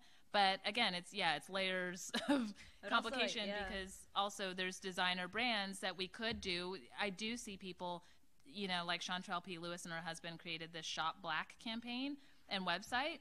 But you know, it, it's complicated, and this is these are the vestiges of colonialism and racism and internalized racism. You can set that stuff out, but there's you know people of color uh, black people who don't want that. They still aspire to the European brands or to whiteness, and it's not enough to you know support you know your brother or your sister in the brand that they're creating. It's not aspirational. I, I had a phone conversation with a journalist, black journalist, who said, you know, Kim, honestly, if I pitch an article and Essence accepts it or Anna Wintour and Vogue accepts it, I'm going to go with Anna Wintour and Vogue because they matter more. And he's like, I hate saying that.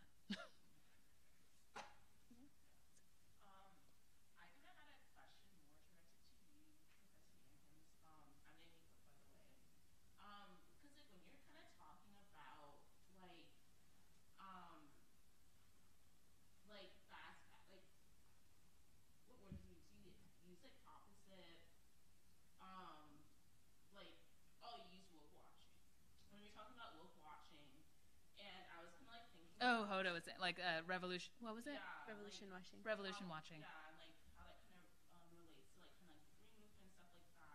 I was wondering, do like fast fashions like kind of like or like not even fast fashion, but just like fashion houses in general? Like, do they do like the opposite of that? Like they like do stuff that's like intentionally inflammatory to get like more media coverage and like. There's there's theories of that. There's people actually believing that who think you know I think that they put this noose around the model's neck with, you know, the baby hairs, everything on purpose, you know, just to um, get attention. And then, you know, they then try to resolve the issue. But now at least that name's on everyone's, you know, lips. It's on the radar. And, it, you know, any press is good press. Um, there's some people who actually believe that. Uh, even some people who've revealed who work for some of these fashion brands believe, even working for those brands, believe that that is the case. I'm not sure. I don't know if I can make that call. I don't know what's going on in their heads, but um, I, I mean, at best, it's profound ignorance. At worst, it could be, you know, intentional. So I'm not sure.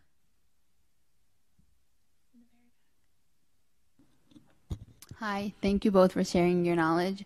So I work in the fashion industry. I'm a design operations assistant at Eileen Fisher, and I've realized that myself and many of my peers, especially people of color who are starting off in the industry, are frustrated by how fucked up this entire fashion system is, um, and don't really want to continue working in it. But we're told to work in it, make your way up in these unsustainable, unethical companies to get to get a seat at the table ten years down. Um, and so my question is um, even then, will those few change? What will those few changes that we can make when we get there? what will they do and how much change will they actually create? Um, and because of these questions, a lot of people of color are actually leaving the industry, um, and that leads to less people in those seats at the table. Right. So, um, what advice do you have for these recent graduates? Um, and do you think it's even possible to work within a system that we're complicit in because we're earning an income through it? Um, yeah.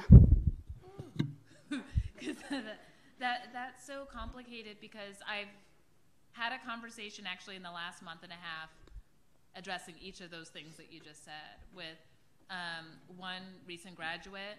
He called me wanting to talk. I was like, I got 30 minutes. An hour and a half later, you know, we're talking.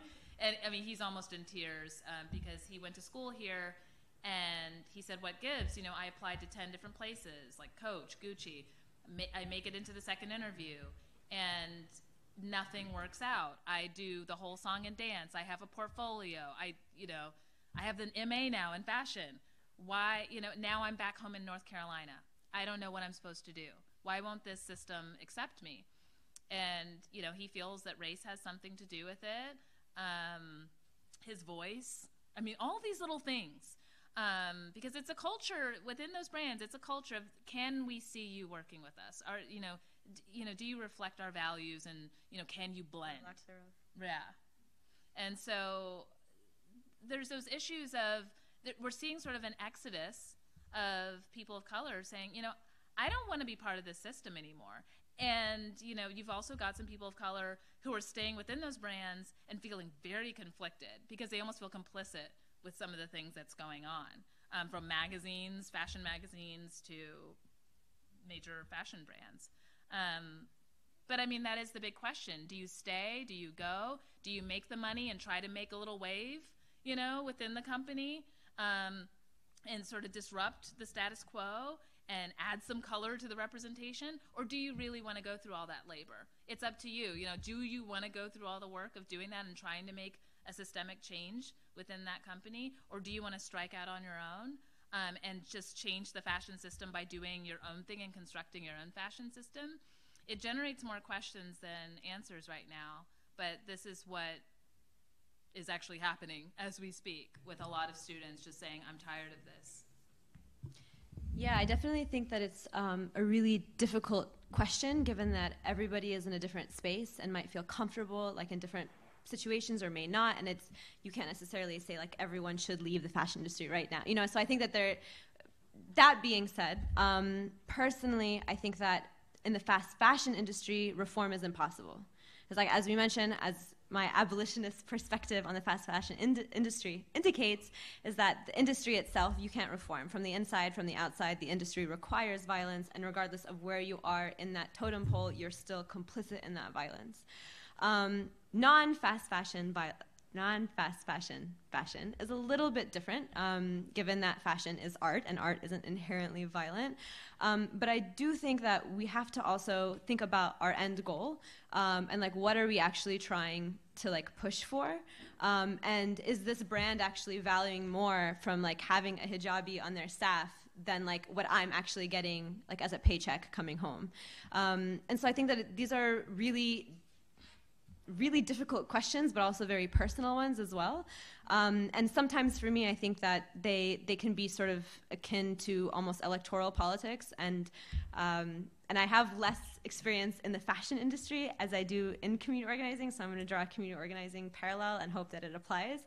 But something that I think that we can learn um, so much from the black uh, the history of blackness in America is um, and that's obviously as like an immigrant, that's where I look to for like histories of resistance and struggle, is that um, the the sort of the the movement for Black lives, not currently, but sort of in the civil rights movement.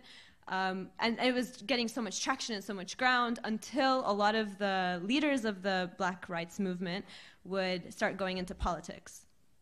Um, and we saw the movement then completely fall apart once people were starting to like enter electoral politics.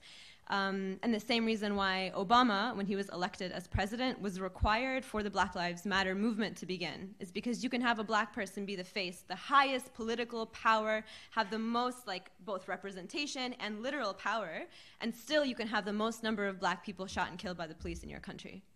And so I think seeing that history makes it really clear that when an industry and a system is not built from you in the beginning, no matter how many faces that look like you are part of that system, that doesn't mean that you're not also going to continue to have your people be at the end of that system.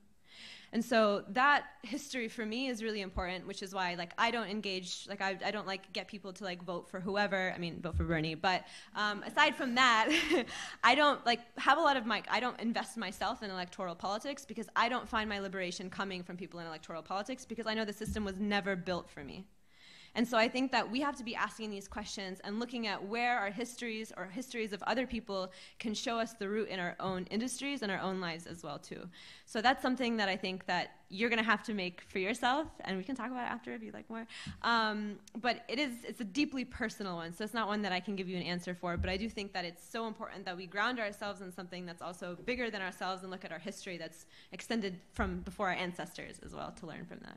And one thing I just want to add to that, tack on to that really quick, is like logistically, especially if you want to be, uh, or so in fashion design. Uh, yeah. Um, you know, it's also complicated because it's such an overwhelming unwieldy, well-oiled machine. Um, you know, it is built to be oppressive in one way or another. You can't have it both ways because when it comes to making things scalable or mass producing things, how are you going to do that? You know, how do you afford? How can you afford that outside of the existing system? So it can be done, but then that's when the costs become astronomical of just thinking how can things be slowly made, or if a thousand people love a shirt or a tunic or a sweater that you're making, how do you go about doing that? Because um, we start having all of this kind of outsourcing become popular by the early 80s and having these super designers like Ralph Lauren, Calvin Klein, Donna Karan, who kind of modeled what's possible um, in terms of mass producing and getting your name out and licensed to the world. And, you know, if you want to go in the opposite direction and make things more slow and smaller um, in smaller batches, um, it's just it's very complicated and difficult knowing how to kind of put together the tech packs on your own and get everything outsourced in a way that's cost effective. Um, there's um, new organizations or companies like Cala, C A L A, that is now trying to disrupt that. I don't know if they're being that disruptive, but they're trying to embrace um, and attract small brands or small designers and say, let us help you with all of the logistics that can seem really overwhelming for you if you want to strike out on your own. And we can help you with how this whole system works but still, like going with what yeah. you're saying, you know, how do you make things scalable? That's what, you know, the business of fashion is all about getting your name out there and um, mass producing, and you realize it's incredibly expensive. Which is why, you know, when we see things that are expensive, you get angry. Yes, a lot of it can be branding or just a logo or a label that they just tack on an extra thousand dollars for. But a lot of it's actually, you know, if you're like Aurora James, um, who has the brand Brother Vellies, you know, she'll argue, she'll get very frustrated if you complain about the prices of her bags and her shoes. Um, be, she says, because I'm working, I'm going down to Africa to various countries and giving them a livable wage. That is why your, your boots are $600. So, um, so we have to take all of those things into account if you want to kind of disrupt the system a little bit, like she's trying to do. And I think also, sorry, um, I just think this is a really interesting question that hits upon a lot of questions that we've had also as well. Um, and I think that's something that's really important is that I think the fashion industry is so systemic, like so institutional, unlike many other industries. Like you're either in it or you're out, or like one day you're in, you're the next year you're out, whatever. Um, and but it doesn't have to be that way. And it really doesn't. And I think that it's so important that us, not just as people interested in fashion, but also in law and like business and everything that we do, we can literally imagine a radically alternative world and actively work toward building that. So, for example, Blue Tin Production, I didn't go to fashion school. I didn't realize there were two different types of needles until I started this company. And I think that it's so exciting that it still is being able to be like a, an actual alternative for what the fashion industry could look like. So, I don't think that you have to go up like a corporate ladder um, here in the West to understand understand what fashion looks like. Our people have been doing fashion in so many different ways since the dawn of time, and so if we're able to like think about ways that doesn't even value the systems of capitalism or the systems of what we learn here, um, and like our very like white and colonial education systems, and be able to actually rebuild and recreate and reimagine um, what that could look like. So I think in the center of anything should be just like our ability to imagine and our ability to not be constrained uh, within sort of like these very tight or what feels like very tight borders around what fashion can and can't be. And it might get uncomfortable. It should get uncomfortable, or you're also not doing anything. so we'll take one last question, and then uh, we can pursue the conversation outside. Hi. Oh, hi. Um, my name is Tutu. Oh, hi. I'm over here. Sorry. Can we take two questions? Yeah, quick, sorry.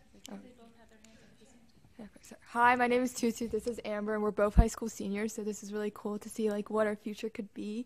Um, I find it really interesting this whole idea of like revolution washing and using kind of this momentum of change and diversity as like a bandwagon. And I think sadly that's true for a lot of people we see at our school.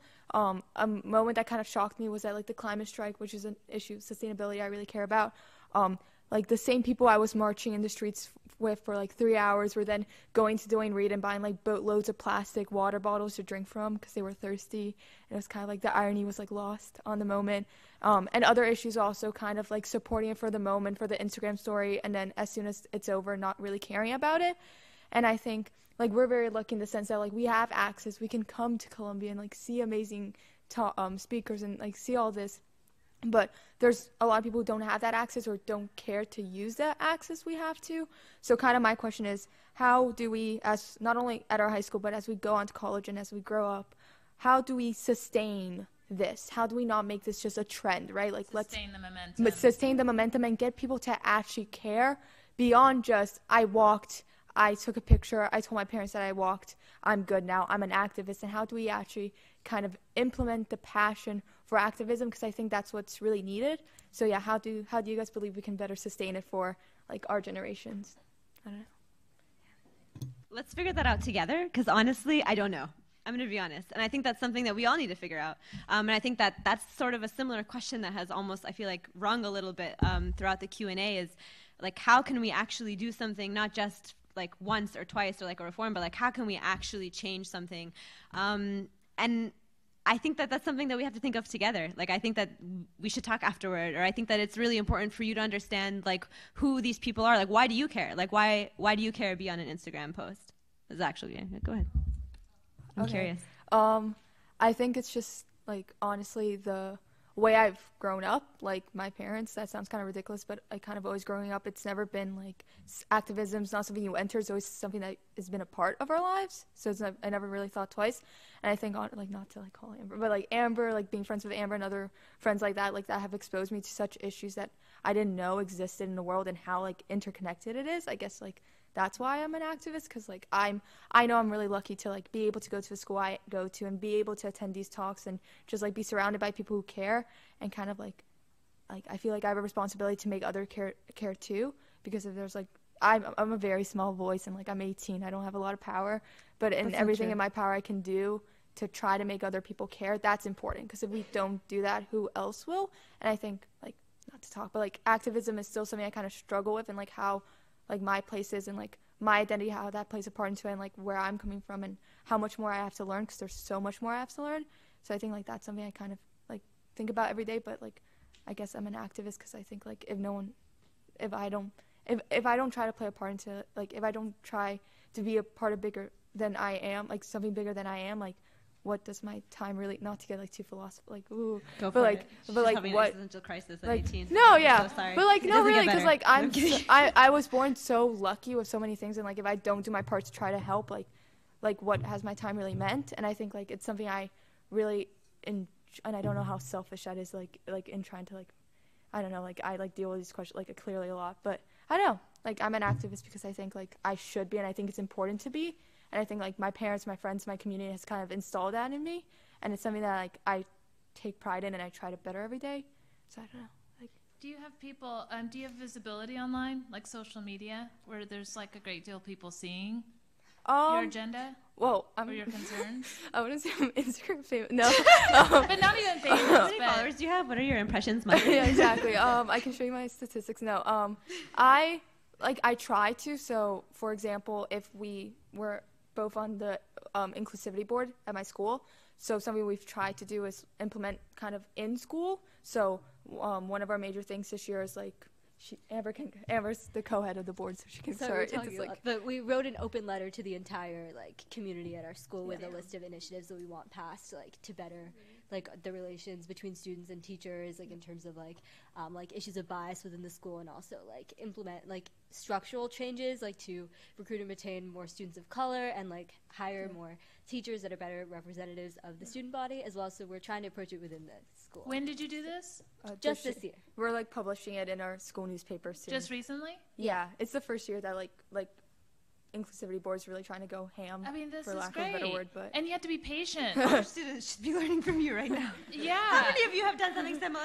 getting that out there and then again i mean i don't want to be like too pollyanna about it but it's just like social media has enabled you know a tremendous platform for various agendas and campaigns and i honestly believe if you know you have s- maybe it's an instagram or some sort of social media account dedicated to just that you know? And the the key or the recipe is just staying consistent and relentless and not letting people forget about it because that's when people just start kind of losing the faith in it too.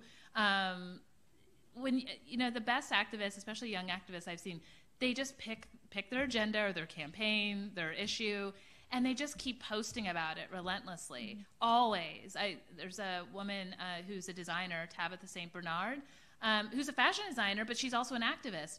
And she's just never not posting about that. She'll post pictures of her kids but then it's in her latest collection.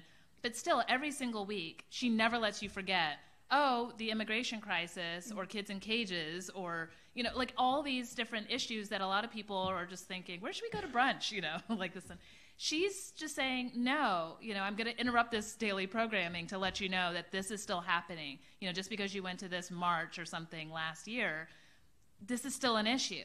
So uh, you know if you really stick with it and just you're just kind of relentless um, the momentum's only as good as your energy. And so um, as long as you still find it relevant and keep posting about it people will see that and think wow these women are doing this in earnest and um, you know maybe we should address this issue um, it'll with time and patience and just really laboring it um, it'll come people will kind of believe in it just as much as you do And never think that you're too young to have a powerful voice. Like what you're just doing right now, talking about systemic change at your school, like that's amazing. Like that's really, really important. Um, and you have something important to say, so it doesn't matter how old you are, how young you are, but like as long as you're getting your voice out there, I think that's so important, and like you're able to hold on to that. So that's really beautiful.